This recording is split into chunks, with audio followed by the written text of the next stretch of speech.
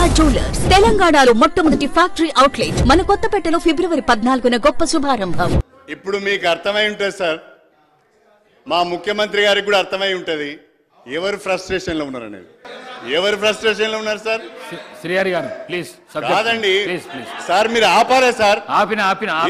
మాట్లాడుతున్నారు. ఆయన మాట్లాడి ఆయన మాట్లాడిన తర్వాత ఆపడా సార్ అరే ఏ- ఒక మంత్రి సార్ ఒక మంత్రి గారు మస్తు ఏంది సార్ మస్తు ఏంది సార్. మస్తు ఎక్కిందని మాట్లాడు మాట్లాడింది సార్. ఒక మంత్రి గారు మంత్రి గారు శాసనసభలో మాట్లాడవలసిన భాషనేనా సార్ అది. ముఖ్యమంత్రి గారు దీనికి ఒప్పుకుంటారా సార్ ఇది? కానీ ఒక్క మాట మాత్రం చెప్పాలనుకుంటున్నా సార్.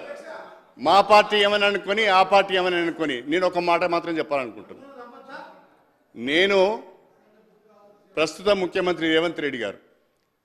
పూర్వాశ్రమంలో మేము ఒకటే స్కూల్లో చదువుకున్నాం సార్.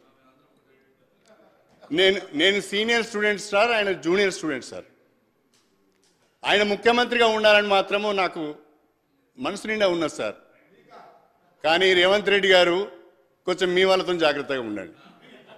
మీ వాళ్ళతో జాగ్రత్తగా ఉండండి రేవంత్ రెడ్డి గారు. సార్ ప్లీజ్ ఆ. ప్లీజ్ ప్లీజ్ ఫ్రస్ట్రేషన్లో మాట్లాడుతున్నారు ముఖ్యమంత్రి గారు. మా వైపు నుంచి మీకు ఏం ప్రమాదం ఉండదు. మీరేం మా గురించి వరి కాకండి. మీ వాళ్ళని జర జాగ్రత్తగా చూసుకోండి. ప్లీజ్ ప్లీజ్ మీ వాళ్ళని జాగ్రత్తగా చూసుకోండి.